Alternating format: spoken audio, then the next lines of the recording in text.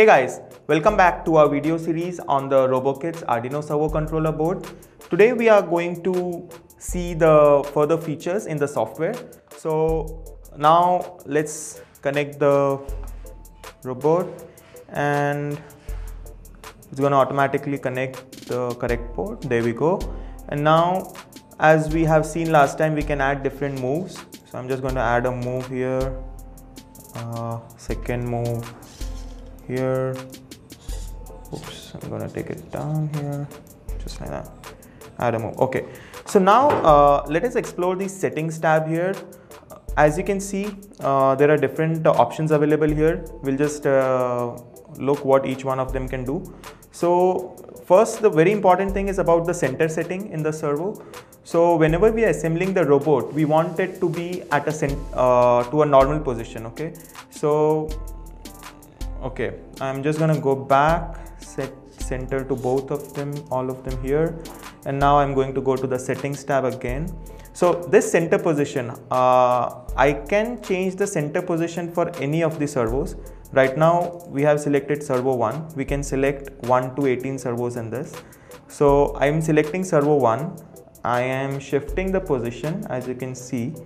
And then i'm setting this to the center position so what it's going to do is now this is going to be the center position for the servo.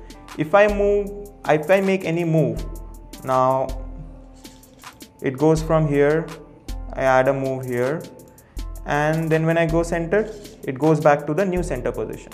Okay, this is important because when we are making any robots and we want to define a zero position or a center position for a servo motor, uh, it would be very difficult to manually open the robot, remove the servo and then physically change a 15 or 20 degree of the servo. So that's where the center uh, setting uh, is required. If you want to change that, you just reset the center, it goes back to the original position and then you can reset the center again. Okay. Another important feature is the setting the maximum and the minimum values. So if there is a uh, if there is a robot where you need to you know know that the robot should not exceed this particular value the motion of that particular servo should not exceed a particular value you can set the maximum and minimum here. Okay.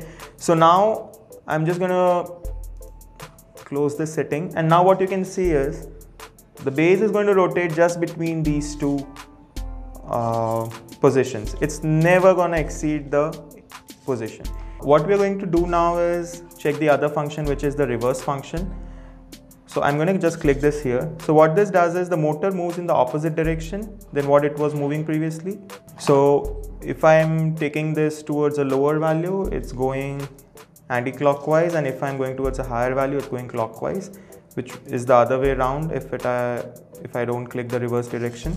This is important because sometimes the we want the uh, directions to be reversed after assembling the robot. So this is how you can do it.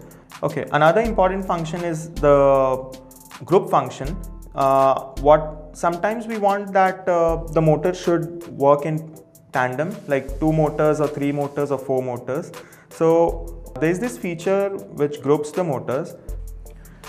So I'm taking servo 1 and here instead of none I'm going to select group 1 then I'm going to go to servo 2 and I'm going to select group 1 again. So now what this does is both these servos are grouped together. Okay. Now let us operate one servo and then we'll see how the second servo is affected. As you can see, both servos are operating together. Okay. I'm just operating one servo and both servos are operating together. This is useful when you make a humanoid robot or a walking robot. You would want uh, the angle of the shoulder and the forearm to remain constant and so you would uh, use this feature in the uh, walking robots. Okay, another feature is this uh, set current value to the home position.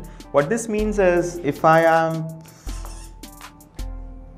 if I set this value to the home position and I close this when I connect the robot and the software gets connected, the first thing it's going to do is go to that particular position. Yep, there you see it.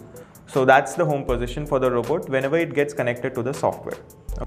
So uh, we have these moves. Now we can make eight different functions. There are predefined functions in the software which would help us to uh, make uh, the programming easier in Arduino. So let's see, I'm going to add a function here and before the function I'm going to add a pause. Uh, here I'm going to add a second function, da, da, da, added a function, add a pause. Now let us add a third function, uh, add a function and add a pause. Now I'm going to go to the first line and I'm going to run sequence. Okay, so as it encounters the pause, it's going to stop. I need to press control and the upward key for the program to proceed further. Then for the second function, I need to press the control down button for the program to proceed further. And then I need to press the control and the left button for the program to proceed further. So now what we have seen is if if I press any key, it's going to go to that particular function. If I press control and upward key, it's going to run the particular function.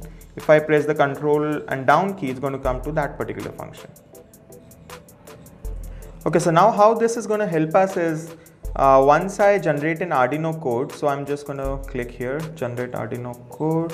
It will ask me to disconnect. I'm going to say yes.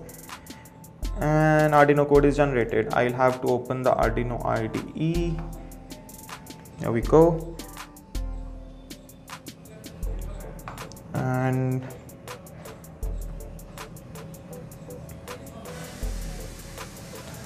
here I'm going to paste our code.